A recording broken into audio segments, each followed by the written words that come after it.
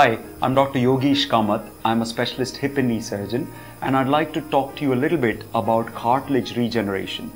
Now, who hasn't heard of arthritis? It is something which is there in every family, either a friend or a relative.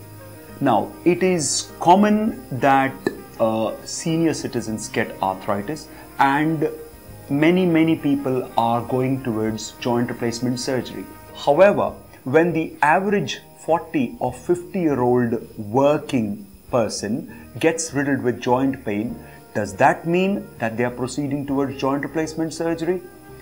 There is a whole range of symptoms and structural problems under the wide group of arthritis.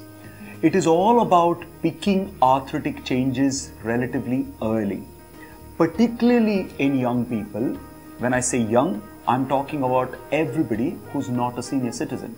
Particularly in these, if they've had pains after some injury, there could be lesions which are not really detectable in x rays and lesions in the surface of the joint, that is, the cartilage surface, which are amenable to treatment by which joint cartilage can be regenerated. Now, there are various techniques and these have been developed in the last few years. They are not alternatives to joint replacement but options for people who have early damage in their joints. Now, this needs to be looked at rather than being lived with. You could feel free to consult a specialist in these procedures, and there are a few in India where we can get specific MRIs which tells us about the conditions of cartilage in the joint. There could be a lot of structures in the joint which can get damaged and can uh, be made to regenerate by specific techniques. Some of you might have heard about stem cells. Now it's not just stem cells but we can use our bone marrow.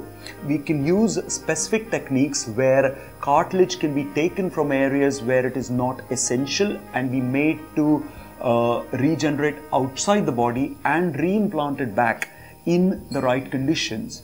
These need to be seen by a specialist and can definitely work towards making your joint normal.